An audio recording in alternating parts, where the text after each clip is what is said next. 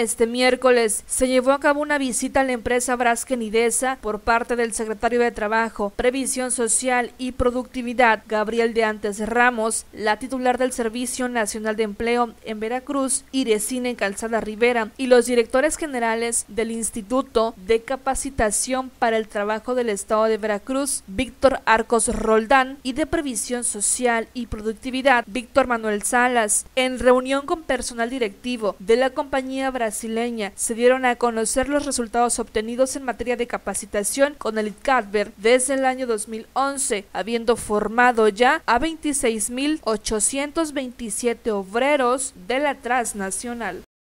Para TVS Noticias, tvsureste.com.